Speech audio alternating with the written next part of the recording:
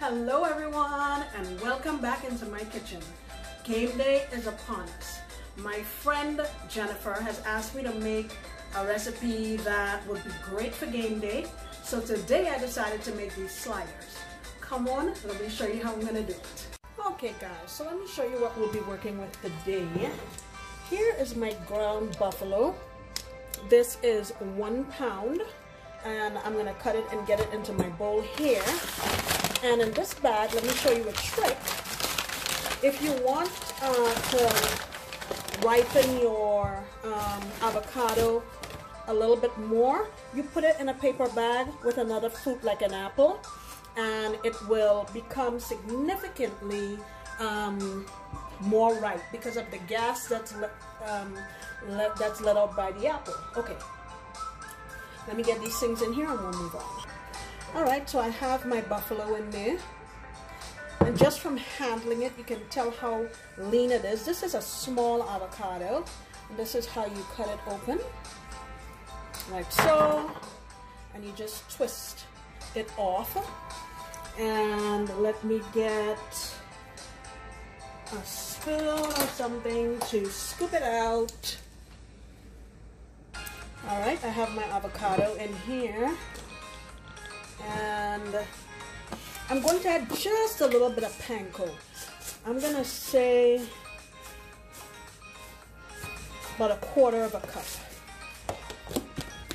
And I am actually piggybacking off of a recipe that my granddaughter, my oldest granddaughter, Alyssa, she uh, a couple of years ago went to a children's cooking competition and she made um, uh, what do you call those? Turkey burgers. And she used avocado in it and she won. So I'm kind of piggybacking off of that.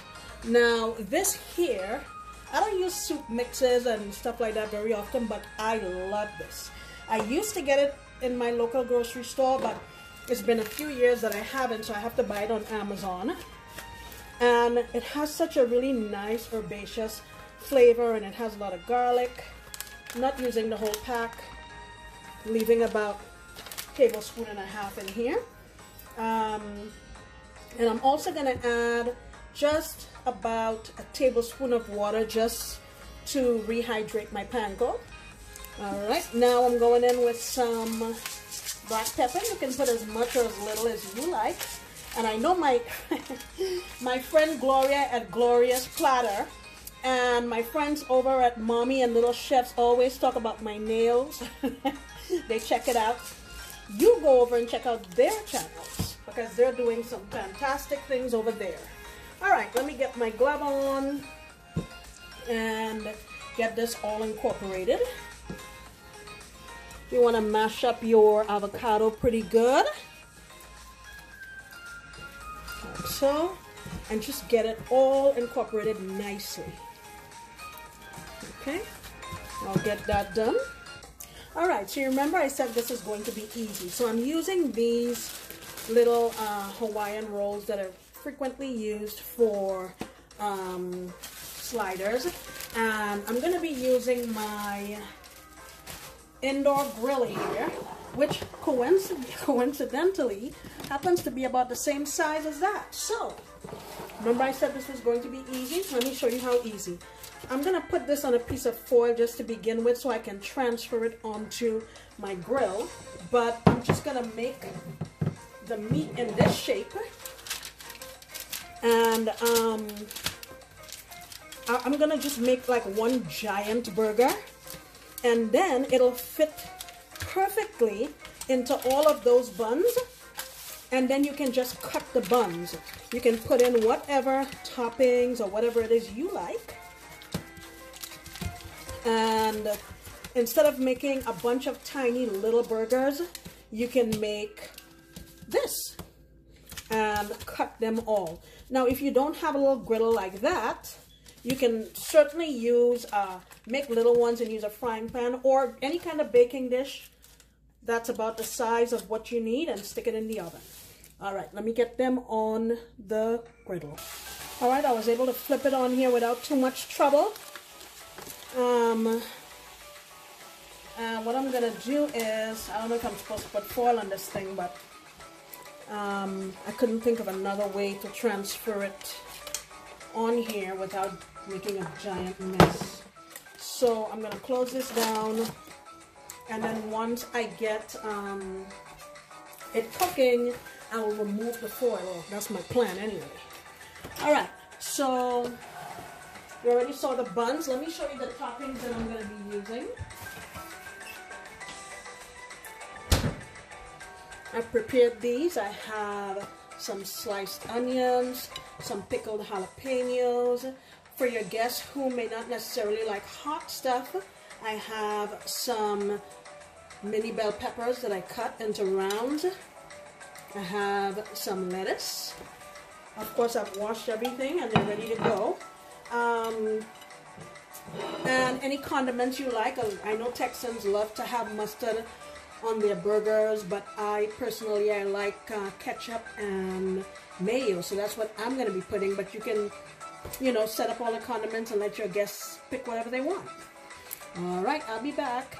All right, this has been on here for about two minutes. Let me see if I can manage to get the foil off of it without it breaking apart. Ah, that was not hard at all. Okay. I'll close it down and let it do its thing. I don't imagine this will take a very long time. Maybe about eh, four minutes. I don't want to dry it out. Um, but I'll check it. Three to four minutes, I would say, because this is cooking from both sides. So we'll see. All right, so this has been going here for about three minutes. And you can see that it's completely cooked. We had a little bit of breakage and separation, but that's okay. I'll figure out how to finagle it onto the buns. So let me get everything straightened and I'll show you how we set this up. Alright, so for the purpose of demonstration, I'm only gonna, I only put condiments on these three sliders because uh, I'm gonna be bringing these to my kids, the others to my kids, and I don't want them to be mushy. So I'll put cheese on these here. I don't think it'll matter if I put cheese, but I just don't want the other kind of condiments on it. So these three here will be mine. I'll be happy to take one for the team. All right, so I'm going to transfer um, the burger in two parts. It naturally splits, so I'll just transfer it exactly like that. All right. We bring the other part over like that. And we got a pretty good fit there. Look at that. Okay, and now I put these on top. Oh, I forgot to put lettuce. Let's put lettuce. Again, for the sake of demonstration, I'm only going to put on this side, like so. all right and now put this on top. And what makes this so easy is that you can just cut them like this. So I mean if you really wanted to make all the tiny ones tiny little burgers and put them in there individually you can. But if you have folks coming over for game day you want to make things as easy as possible. All right. And I went to Party City and I got these little flags that are as cute as ever and they were only like $2.99. So I figured what the heck. Now you can just put them on there to be festive. Everyone's going to absolutely love them. Jennifer, I think you need to make these, honey. All right, I'll get the other flags on there and then come on back. All right, guys, look at this. If I can pick it up.